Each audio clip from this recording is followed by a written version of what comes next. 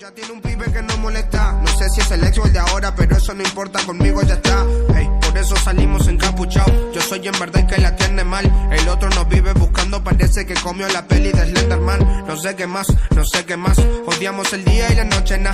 Es una vampira y yo Drácula. Pasamos la vida en la oscuridad. Solamente nos pasamos el rato pensando en cómo salir sin que nos vean. Y que los bocones que molestan se queden en la casita viendo novelas.